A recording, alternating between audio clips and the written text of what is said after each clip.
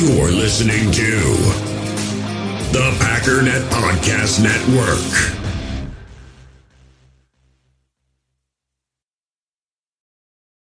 This episode is brought to you by Hyperice, the leader in advanced warm up and recovery technology. They have tons of innovative products, like Venom heated wearables to help soothe sore back muscles, Normatec compression boots to speed up recovery and increase circulation, and Hypervolt massage guns to improve mobility. Loved by athletes like Naomi Osaka and Erling Haaland. Try them yourself. Get 10% off your order with the code MOVE at hyperice.com.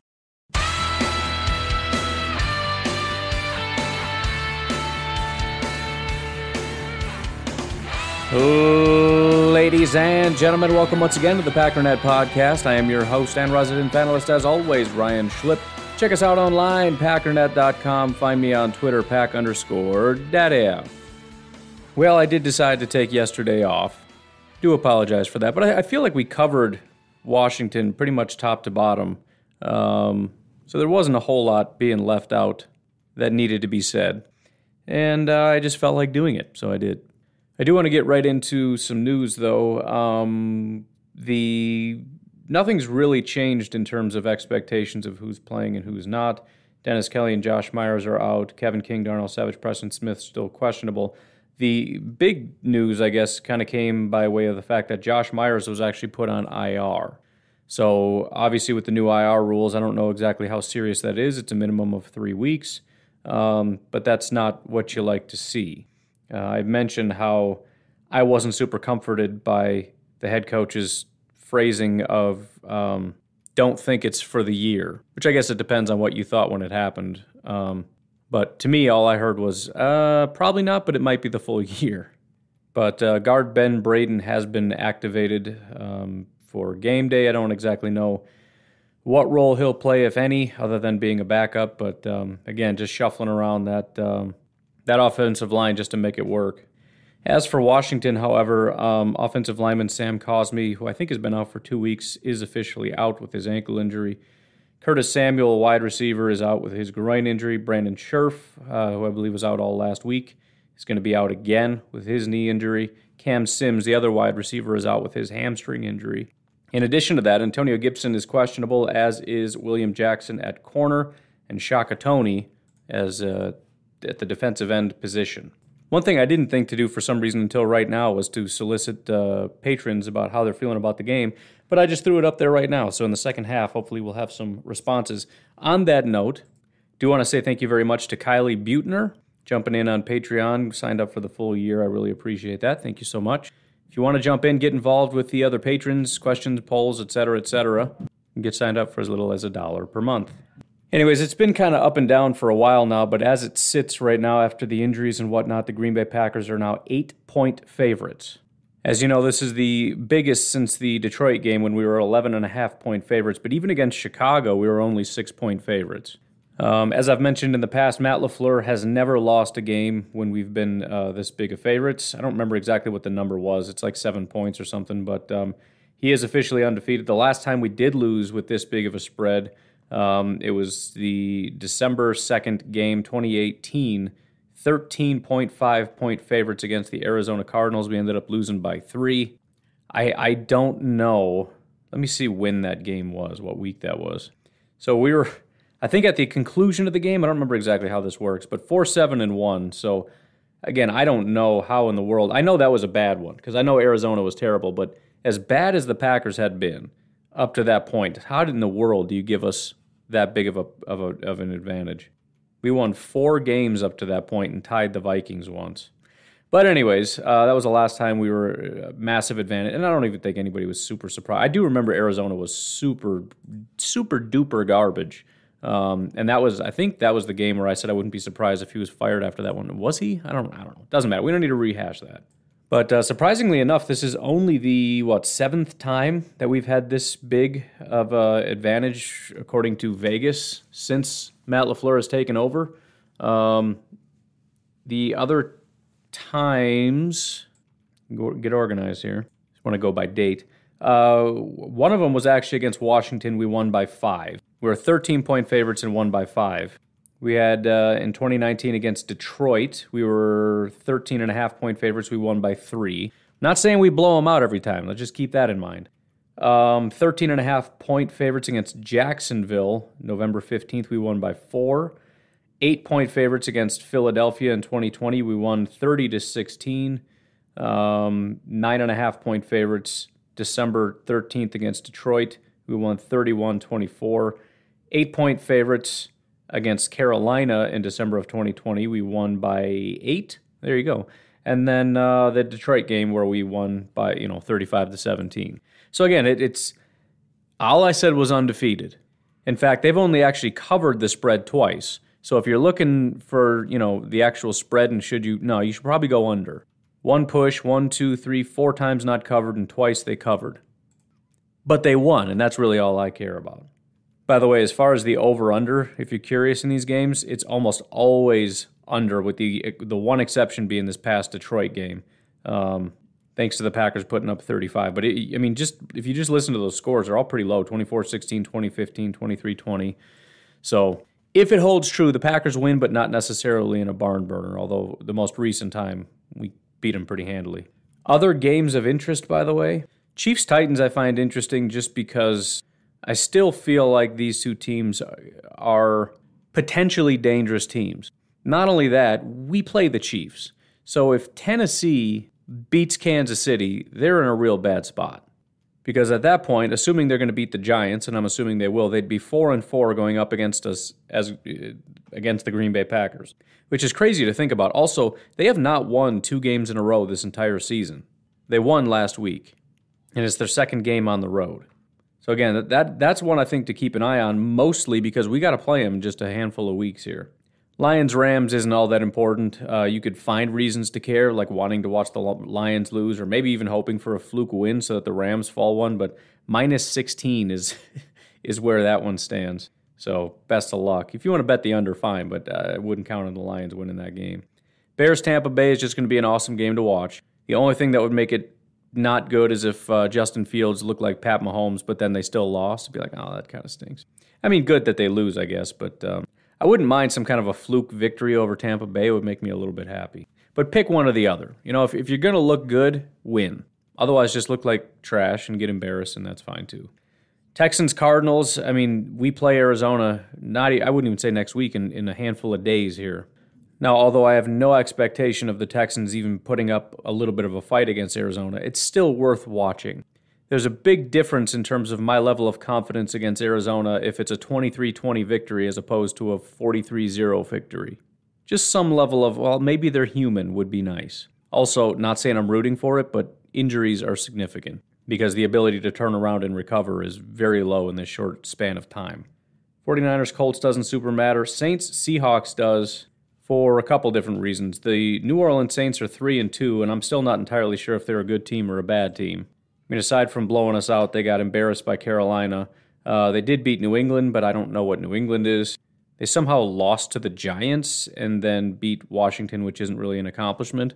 So I don't know what they are. And then Seattle is uh, quite bad this year so far at two and four, and we play them in a handful of weeks. And so, seeing what the Russell-less Seahawks look like, I'm assuming we're playing without Russell, but I guess I don't know. It's worth watching. Anyways, let's let's get into this a little bit because, um, again, I, I just want to rehash kind of what I've talked about. And I went on two different Washington football team um, podcasts, or you, one was a podcast, one was a YouTube channel. And in, in both cases, it was very clear that they recognize, unlike some fan bases, they recognize they don't have a very good team. Some some different teams, it's it's not quite that way. Even with the Bears, as bad as they've been for as long as they've been, there's still an element of pride. You take pride in their defense and some other pieces here and there. Um, when I talked to the Saints guy, there was lots of pride all over the place, and they ended up obviously winning. But uh, in this, in the case of Washington, there was none. They just basically said that things are horrible. And a uh, big part of the focus has been on the off field things, which is not insignificant in, in terms of how that affects the play on the field as well. I mentioned that when I talked about the Bears Raiders game and how I thought that was kind of a fluke because the Raiders were heavily impacted by the things that are going on off the field that hit them the morning before the game. And so I want to illuminate some of those things. One of the things that I used to use a lot that I haven't in a while, PFF has, and it's just little matchup charts. Basically, what it looks at is the quality of your player against the quality of the player you're probably going to be going up against, and how big of an advantage or disadvantage that is. The second highest wide receiver advantage goes to Davante Adams of the Green Bay Packers. Now, again, obviously that has something to do with his level of talent, but it also speaks to how bad Washington is. In other words, the gap between how good your player is and how bad their defense is, the bigger that gap, the bigger the advantage. Now, number one is Cooper Kupp against Detroit and all their defenders, but still, Davante Adams number two. But that's not all. We know Davante is a top end player. What about at tight end? Because they have a tight end matchup chart as well. Robert Tonyan who hasn't really done very much and has a 48.4 offensive grade via PFF, which is what we're using, has the ninth highest tight end advantage of anybody in the NFL, 14% advantage over what they project to be Mr. Jamin Davis. So I, I guess I just want to reiterate how big of an advantage we have in this game as compared to some other teams. I mean, outside of the Lions, we've just never really seen this even with the Saints, and I had talked about the Saints and how they had really bad interior defensive lines, so we should be able to run the ball, and obviously that didn't happen. And the Saints' corners were not as good as they had used to be, but they still had some guys that at one point or another were premier guys. And they still had a really, really good linebacker that we all knew about. Washington has a defensive line, and their defensive line is actually somewhat similar to the Packers in that they do generate pressures. They very rarely convert those pressures into sacks. And when I talked to um, I was doing my interview yesterday. One of the things that came up is how terrible the defensive coordinator is doing, how terrible of a job he's doing at, at calling things specifically, and Packer fans I, I had mentioned would know this very well. You'll get like a third and four situation with the corners eight yards off. But the, the point is, whether it's bad play calling or just terrible corner play, there's generally always somebody open.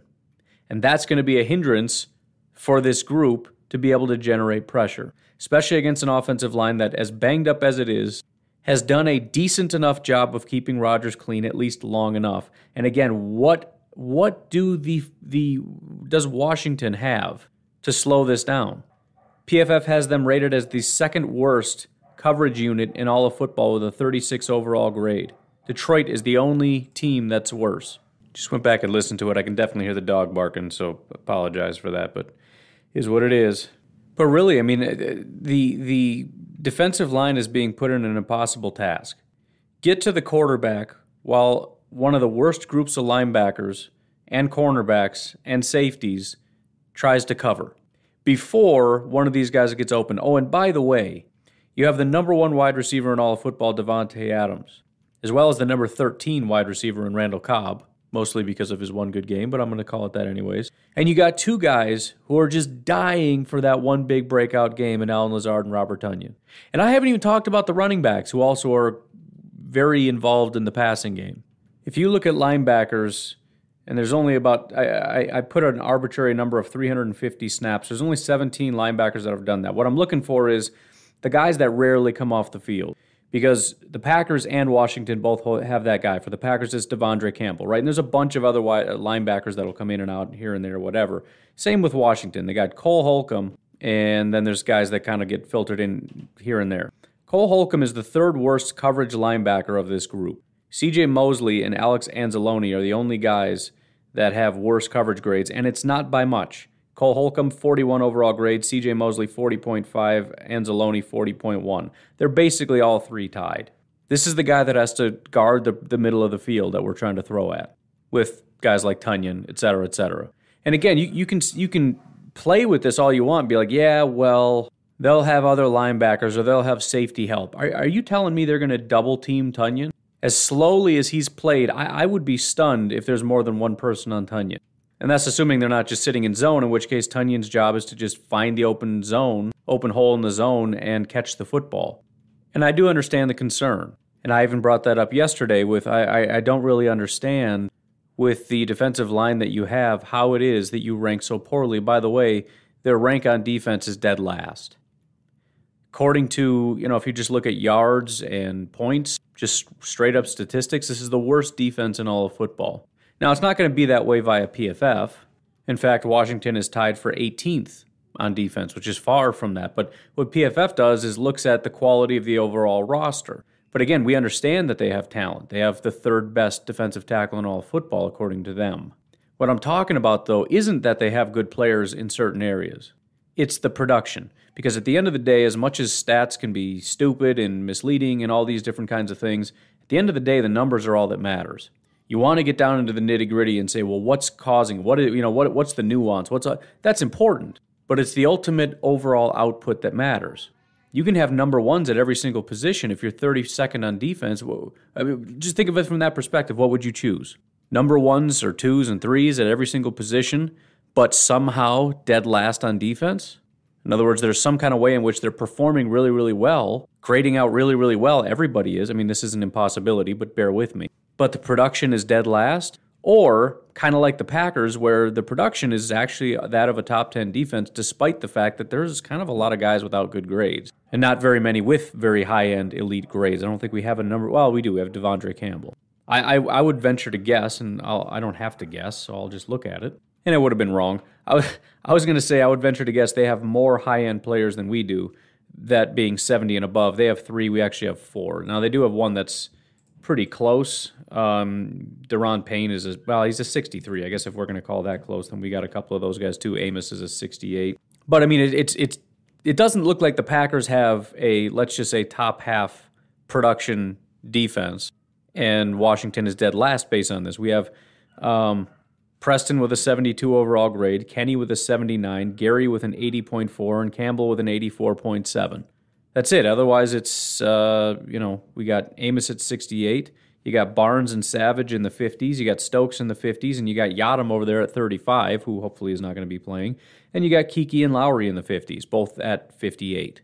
But again, it's the output that matters. And, and, and I think it was, it was illuminating when I did that podcast because it just – it really started to click because it reminded me of the Packers with um, Pettine, where you go over to PFF and guys are grading out real well. You know, Jaire's on the team. Preston's somewhere in the 70s. Or, yeah, well, yeah, Preston's in the 70s. Kenny's in the 70s.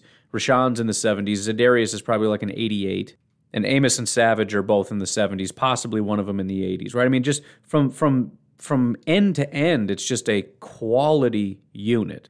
But the production wasn't there and and the way he described the team felt so familiar to me where it's like I he just with exasperation described things that made no sense again the the guys with uh, playing so far off or he described to me in one instance I forget the exact situation but essentially a guy ran a go route in a very go routey kind of a, a situation and the corner essentially shifted his body toward him and after he ran past him, suddenly realized, oh, I better start running, and was several strides behind him, obviously. And I believe he caught that for either a touchdown or a massive gain, and the safety came and cleaned it up. I don't know the particulars of it. But just inexplicable things like that that make you go, what, what is happening? This is the most embarrassing thing in the world. In other words, they're, they're exact opposites. What the Packers have, despite talent, is cohesion. It shouldn't work, but somehow it just is. The plan is coming together and people are doing just enough to make it work. Washington has talent, but they don't have a way of putting it together. Again, it reminds me very much of what we had with Mike Pettine. We have the talent, it's just it never really, you know, it's round peg square hole. And and I mean that from the sense of the defensive line working with the defensive line, working with the edge rushers, working with the linebackers. Nothing worked in sync, in tandem, nothing. Nothing made any sense he described to me uh, also, I mean, it, sounds like the worst of both because it was very Mike Pettine. And then he also described to me something that reminded me very much of the Dom Capers days, and that was third and longs are a nightmare for Washington. Because whether it's rushing three or whatever the case may be, they're always going to give up third and longs. He said it could be third and 20, doesn't matter, you guys will convert it. And I said, believe me, I know what that's like also. We actually started the season that way under Joe Barry, and it was terrifying because I'm like, oh, here we go with the Dom Capers defense all over again. It's bend, don't break, and uh, don't give up anything unless it's third and long. Then give up uh, about what you need. You know, third and 18, give them like 21. But that's the state of Washington. Is there talent there? Yeah, there's talent there. But they don't know what they're doing. They're lost, they're confused, there's no cohesion, and it's ugly. And the offense isn't much better. Now, the offensive line is I mean, it's it's pretty premier. I mean, from from end to end, the lowest grade they have on this offensive line is a 70.6. Even with the two subs coming in, those are actually two of the highest grades of anybody. Lucas and Schweitzer, who actually were starters last year, so it's not like they're just some bums off the street. Um, 79 and an 81.8. They've given up some of the fewest pressures, the fewest sacks, the fewest anything. They don't give up anything by way of, of pressure. And I talked about that when I was on the show yesterday and said it surprised me because you've got such a good offensive line, you would think your quarterback has a ton of time to throw and there should be some holes to run through. And he kind of just shrugged and was like, yeah, well, you'd think. Again, we've got the talent. It's just, it's not being put together. And Heinicke is just, he kind of likened it to Brett Favre, but but a really bad version of Brett Favre. He said he he said he he grew up loving Brett Favre, was a Packer fan, wanted to be a gunslinger, but he's Brett Favre without without the rocket arm. And so he wants to sling it down the field, but he doesn't have the arm to do it. And he's also more late stage Brett Favre, where there's way too many many interceptions. And I went over his stats.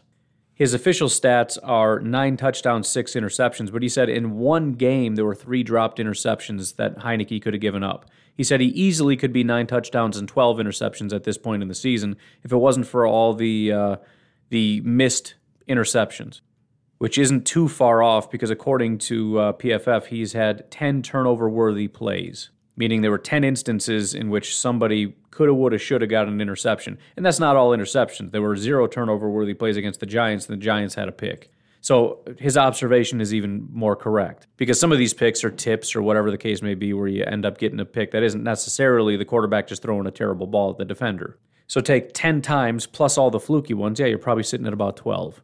He went on to say he doesn't know how to read a defense. It's funny because today is sort of trash the opponent day, and all I'm doing is referencing the interview I was on yesterday when that guy trashed his own opponents.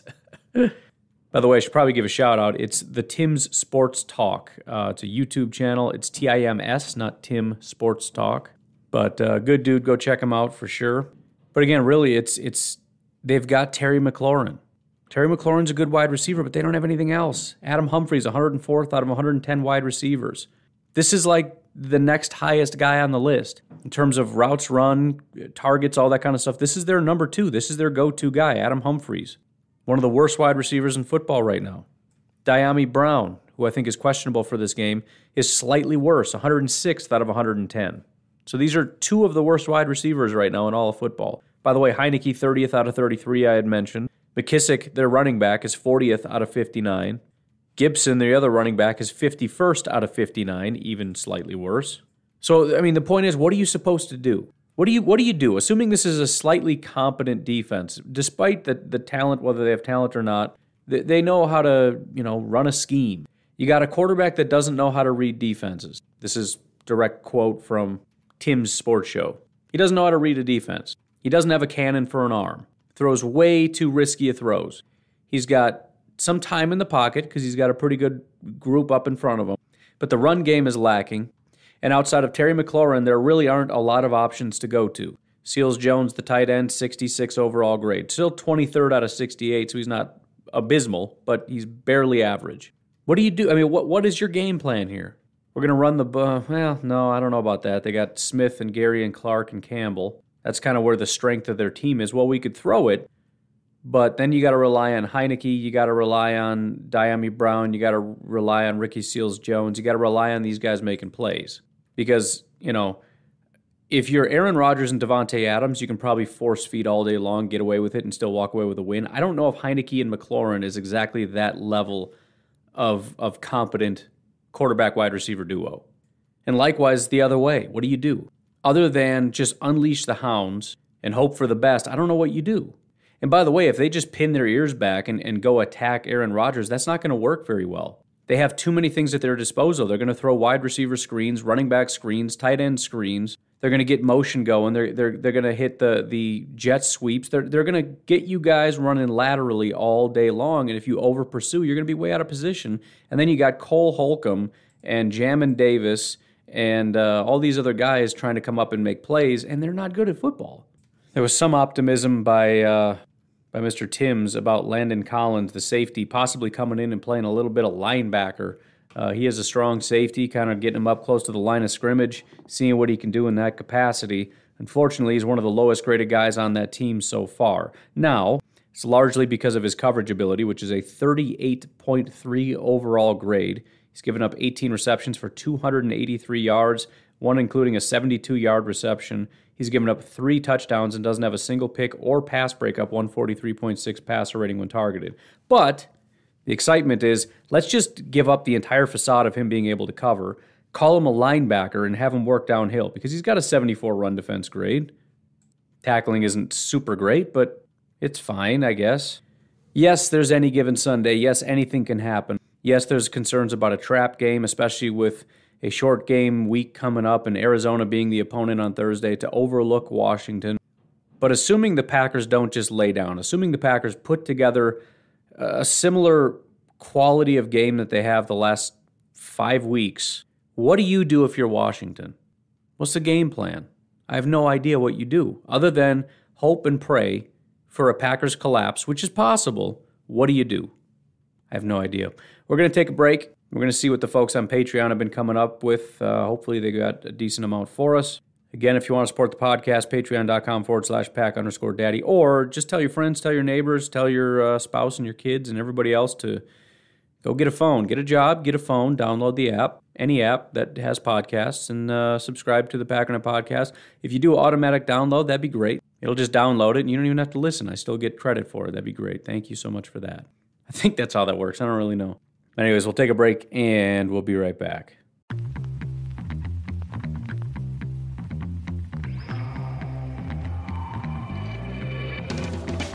Ladies and gentlemen, let me ask you a question. Have you ever heard in your entire life of test driving a phone network? Well, now you have, because US Cellular is going to let you test drive their network for free for 30 days. So, anywhere you go where you got some dead spots, where your service isn't super strong, you're trying to listen to the podcast and it drops out when you go here because you got no internet service anymore, real simple. Just whip out your phone do a little beep boop bop boop. That's you pushing the buttons to go to the right place. And you can get the app and try it out for yourself. So go ahead and test drive US Cellular's award winning network free for 30 days. That's US Cellular, built for us. Terms apply, awards based on open signal independent data. So go to uscellular.com for all the details. I want to tell you guys real quick about our new sponsor, Factor. Factor makes delicious, ready to eat meals, and they get sent right to your door. They have 35 different options every single week that you can choose from, including keto, calorie smart, vegan and veggie, and more. And there's even more to enjoy with over 55 nutrition packed add ons that help make your weekly meal planning even more delicious. There's no prep work, there's no messing up six different bowls, mixing stuff. Factor meals are 100% ready to heat and eat. No prep, no cook, no cleanup. Factor's also very flexible with your schedule. You can get as much or as little as you need by choosing between 6 to 18 meals per week. You can also pause or reschedule your deliveries anytime. Factor is less expensive than takeout, and every meal is dietitian approved. So head to factormeals.com slash packdaddy50 and use code packdaddy50 to get 50% off. That's code packdaddy50 at factormeals.com slash packdaddy50 to get 50% off. This episode is brought to you by Pepsi Wild Cherry. Pepsi Wild Cherry is bursting with delicious cherry flavor and a sweet, crisp taste that gives you more to go wild for. Getting wild may look different these days, but whether it's opting for a solo Friday binge watch or a big night out, everyone can indulge in their wild side with Pepsi Wild Cherry. Also available in Zero Sugar. So grab a Pepsi Wild Cherry and get wild. All right, so I posted two different things on Patreon. How you feeling about the game and give me some game predictions. So we're going to start with how you feeling. We'll get to the predictions. I'll give my prediction and then we'll call it a day. First of all, from David, says confident Packers are the better team, just keep AR clean. That's a perfect start to this little segment because that's exactly how I ended the last one. Packers are the better team. That's it. There's nothing else to say about that. Just go be you and you win. That's it. Go be you, get the W. And that's not just the, the players, it's the coaches, it's everybody. You got to, you know, there's no overlooking this. There's no sneaking a peek at the Cardinals. You got to put together a good enough game plan like you've done the last five weeks. Make sure you're fully prepared, all that stuff. You got to win.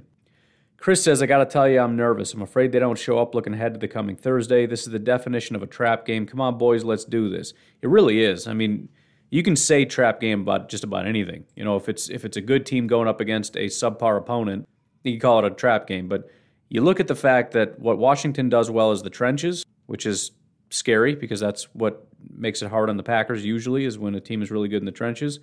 And then, like you said, a short week and a really high quality, possibly the best team in football coming up um, just a handful of days after. I mean, it, it, it really is the full definition, probably the purest definition, you know? but, you know, I mean, they, they know this. And uh, it's up to Matt LaFleur to make sure that their, their minds are in the right place and recognizing that this will be a loss prior to Arizona if you guys don't prepare properly and not focus on Arizona. Goose says, pretty good, honestly. This, by all means, should be a blowout, but even if it isn't, I don't care as long as we get the win and come out healthy. That's another underrated thing to talk about. I kind of talked about it briefly that it's really hard to come back from injury. Um, this is not a game that you want to see injuries because even minor tweaks and things like that, you might be out. I mean, we don't usually even get updates until Wednesday, and by then it's like, well, we got you'll have a handful of guys that didn't practice, but they'll be fine. On a Thursday game, the the you know if we look at the uh, the injury report, we got two guys out this week. We had Dennis Kelly, Josh Myers, Darnell Savage, and Preston Smith. I don't know if Savage and Smith and and you know King are going to play, but there's a good chance that if this was a Thursday game, we would have no Preston, we would have no Darnell, and I don't even know if King would play. I mean, he's still questionable, having had three days. There's a good chance that he wouldn't have played if our game was on Thursday. So it's important. But but again, that's another thing where it's like you don't want guys to take your foot off the gas I mean, always avoid injury anyways. Don't be reckless trying to tackle with the, you know, top of your head or side of your head or any part of your head. But yeah, whatever can be done, let's do that. Mike says this win is very important with the next few games being just brutal. You know, the only thing, the other thing that sticks out in my mind that makes me nervous is just having been in this exact same situation previously. I don't know if it was 2019 or 18 or what year it was, but it was a very similar situation. We had Washington. I got to find it because I've referenced it like nine times and I don't know what I'm talking about here. So I believe it was the 2018 season, which, to be fair, it makes me slightly less, less nervous knowing it was that garbage of a season in 2018. But and I don't remember who was a good team or, or, or expected to be a good or bad team that season. But I remember Washington being a team that you kind of just look past. Um, I don't think Buffalo was very good all the way back then. They ended up being six and ten. Um, who else would? And I know San Francisco was there. They ended up 4 and 12. But again, I don't know what the perception was, but all I know is I knew that there were going to be tougher games ahead. And maybe it was just a general thought of, you know, you might lose 5 games this season. If you lose these kinds of games, those are when you look at all these, let's say 5, 6 tough opponent, like a real tough opponent. If you're just trying to win 3 of those 6, if you lose to Washington in a way, you kind of got to find a way to win 4 of 6. You can't be giving up games like this and we played Washington. It was in Washington, but we got annihilated 31 17. And it just felt bad. But I guess it was, it, I'm actually glad I went back and looked at it because um, acknowledging that that was just, it wasn't necessarily that that was just a classic trap game in which the Packers are real good and uh, went into Washington and lost to a team they shouldn't have lost to. Washington ended with a better record than we did. We only won six games that year. We've already won five this year. We beat Buffalo, lost to Detroit, by eight points two weeks later.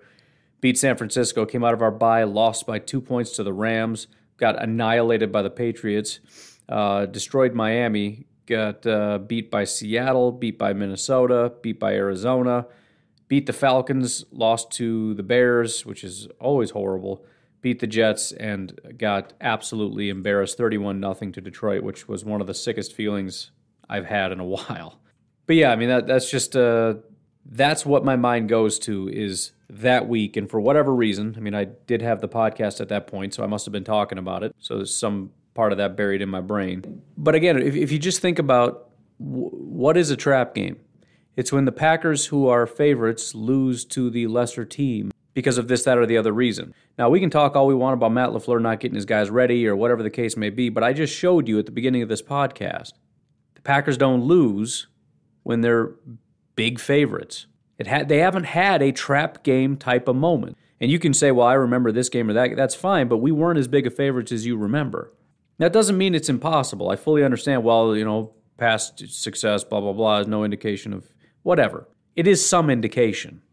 Fact of the matter is, the Packers have played 30 games since Matt LaFleur has been the head coach, five of which they've lost when they were um, the favorites.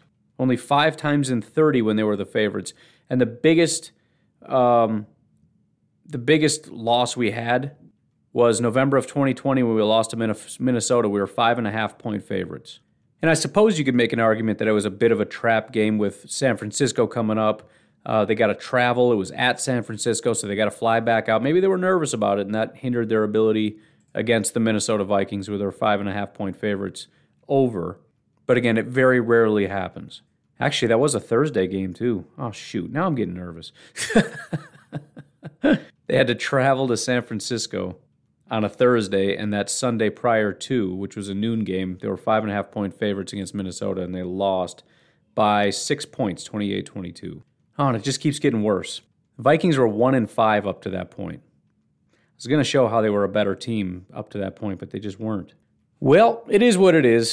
Even despite their record, again, it was only five and a half points. The Vikings, I do think, were a better team than this Washington team we're going up against. Anyways, getting away from the uh, comments here. Mark says, excited to see how we will do. Excited for the next man up. Interested to see the offensive line. It's a good attitude, Mark. I'm nervous about next man up. He's excited about next man up. George says, cautious. Obviously, a trap game. We need, uh, need and should win this. Just hope to come away with no major injuries. Covered it, but yeah, that's pretty much top to bottom. Just find a way to win. Doesn't have to be pretty, and please stay healthy. Uh, Philippe or Felipe, I don't know. Also, trap game, big matchup against NFC contender on a short week with Arizona. Adams and Jones must feast. Stokes have another great duel with McLaurin. Interesting confrontations in the trenches. Packers should and must come out on top. That whole need and should thing is really coming through in these comments. But yeah, I do think that's an underrated um, thing that needs to, I shouldn't say need, it doesn't need to happen, but it's really going to help our chances. I think if we can run the ball well, we'll be okay. If we can't, we can still win, but it's just never good when you become one dimensional, especially when then they start releasing the hounds. Aaron Rodgers stuck in a collapsing pocket. It just kind of devolves. Establish the run early and don't give up on it. Jason says, I feel there will be great intensity from our guys at Lambeau being in front of the home crowd again after a big Bears win and the whole I own you thing. That's a good point. It is at home. They got the, the jerseys. I wonder if that's part of the reason. Seems like they're really building up quite a bit here try to gin up as much excitement as possible, make sure we get a ton of uh, people there. Probably in our favor um, that it's against Washington at home. It's going to be very unlikely there's going to be a lot of Washington fans there, so there's a lot of opportunity for Packer fans to be there, to be loud. So hopefully it's a super, you know, hyped environment. He goes on to say, just feeling a real, a real positive vibe coming from the guys, and think uh, this is where we get to see the offense click a little better and get more rhythm. Davante is due another massive turnout, and I suspect we allow the tight ends a little more freedom this game, knowing it's the front four and front four only to worry about. Exactly. With the tight ends versus linebacker matchups, it should be pretty solid. We'll see what happens with Landon Collins. Again, not that he's good, but you know, as far as linebackers go, maybe he's fine. I don't know. Jason goes on to say, I see a quick pass or two right off the line of scrimmage for him to just head up field with it. Packers by 16. I like it.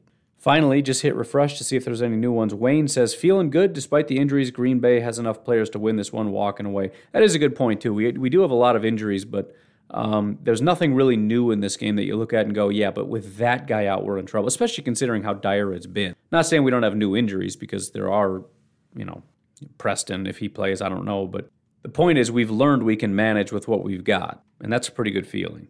Moving over finally to the game predictions. Goose says if all goes well, 31 20 Packers. That was, I think, on my uh, thing yesterday. I said, what did I say, 30 to 20?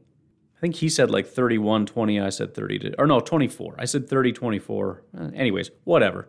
it wasn't that close, I guess. But it's a, it's a, it's in that range. Low 20s compared to low 30s. Uh, we got it again with Matt says Packers win 34 20. Tonyan with a touchdown. Gary has two sacks. I dig that. Eric says 28-17 Packers. They'll start slow with no intensity, get it going in the second quarter. That's uh, the safest money you'll ever put down. Jim says I think it'll be closer than it should be, and the Washington football team defense begins to show up 21-17. Again, I'd be fine with that, and it's not that un- uncommon. It is somewhat of a trap game environment. There are going to be some of that, and and the other thing is, it doesn't have to be a full team that just doesn't show up. It could be a couple players, but those players who would have ordinarily shown up are playing at half speed because of this, that, or the other. And so you still get sort of that trap game element where, where you're watching the game and going, why aren't they playing very well? It doesn't have to be the whole team, it could be 20% of the team, but you notice it. George says 31 20 pack. Man, it's everyone's kind of in sync. Mark, real, really feeling good about this one, says 34 to 9 Packers. Jason says 31 17. Aaron says 42 to 18. That would be cool. We haven't had a big 40 burger. We need one of those. Brandon says 24 21 pack, and the fan base will be very angry. Wayne says Green Bay 32, the footballs 17. Hit refresh one more time. Oh, we got one. Killian sneaks it in there. I was going to say Wayne closed us out on both of those, but Killian got it in. He says 31 10 to the pack. Wow. Any, any and all would make me happy. And here's the other thing if Washington comes out and they drive down the field. Let's let's even back it up further. Let's say the Packers go three and out. Washington gets the ball. They drive down the field and they get a touchdown. First of all, we've seen that happen in what feels like every single game so far this season. So do not panic. Don't run on Twitter or the Facebook group and start screaming about I'm not watching this game. This is trash. I hate this team, etc., etc. I knew this was going to be a trap game. Don't do it. You know why? 31-10 is still a possibility. It is. So take it easy. Going to be fine. My final prediction, I'm going to I'm going to go 30-24, keeping it relatively close but uh, still a comfortable enough win. Although, as I'm saying, same thing that happened last time. I had a really good prediction, but then I, I said like 25, and I'm like, dude, that's the dumbest number in the world. And I was very close, except I said 25. Now I'm sitting here thinking, how do they get to 24 points? But you know, stuff happens. They've got some some pieces, and our defense might not have a good game. Sticking with that, 30 to 24. I'm gonna get out of here. You folks have yourselves a fantastic day. Um, after the game, I may go live. No guarantees. We'll see how it goes. You never know. Um, if we do lose the game, that lowers the likelihood that I do it because it's just it's tough to do. But I would appreciate you keeping an eye out for that. If nothing else, uh, I will talk to you tomorrow on the podcast. Bye bye.